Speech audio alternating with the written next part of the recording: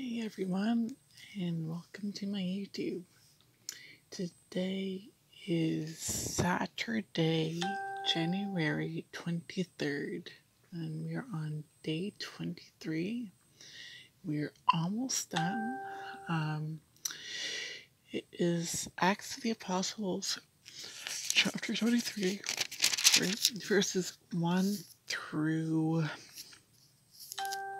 35.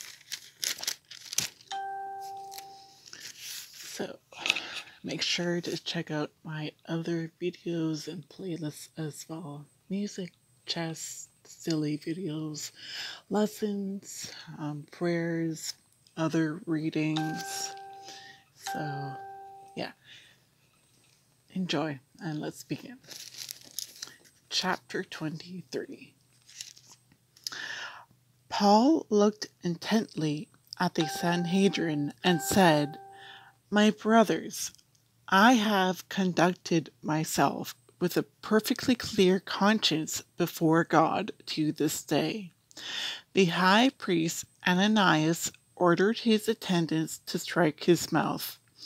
Then Paul said to him, God will strike you, you whitewashed wall, do you indeed sit in judgment upon me according to the law, and yet in violation of the law order me to be struck?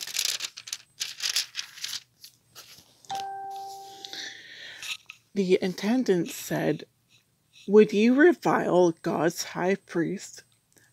Paul answered, Brothers, I did not realize he was a high priest, for it is written, you shall not curse a ruler of your people. Paul was aware that some were Sadducees and some Pharisees.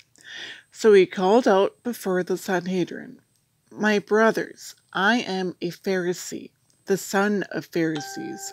I am on trial for hope in the resurrection of the dead. When he said this, a dispute broke out between the Pharisees and the Sadducees, and the group became divided. For the Sadducees say that there is no resurrection, or angels, or spirits, while the Pharisees acknowledge all three. A great uproar occurred, and some scribes belonging to the Pharisee party stood up and sharply argued, We find nothing wrong with this man. The dispute Suppose a spirit or an angel has spoken to him. The dispute was so serious that the commander, afraid that Paul would be torn to pieces by them, ordered his troops to go down and rescue him from their midst and take him into the compound. The following night the Lord stood by him and said, Take courage. For just as you have borne witness to my cause in Jerusalem, so you also must bear witness in Rome. Transfer to Caesarea. When day came, the Jews made a plot and bound themselves by oath not to eat or drink until they had killed Paul. There were more than forty who formed this conspiracy. They went to the chief priests and elders and said, We have bound ourselves by a solemn oath to taste nothing until we have killed Paul. You, together with the Sanhedrin, must now make an official request to the commander to have him bring him down to you, as though you meant to investigate his case more thoroughly. We, on our part, are prepared to kill him before he arrives. The son of Paul's sister, however, heard about the ambush, so he went and entered the compound and reported it to Paul. Paul then called one of the centurions and requested, Take this young man to the commander. He has something to report to him. So he took him and brought him to the commander and, and explained, the prisoner Paul called me and asked that I bring this young man to you. He has something to say to you. The commander took him by the hand, drew him aside, and asked him privately, What is it you have to report to me? He replied, The Jews have conspired to ask you to bring Paul down to the Sanhedrin tomorrow, as though they meant to inquire about him more thoroughly. But do not believe them. More than forty of them are lying in wait for him. They have bound themselves by oath not to eat or drink until they have killed him. They are now ready and only wait for your consent. As the commander dismissed the young man, he directed him, Tell no one that you gave me this information.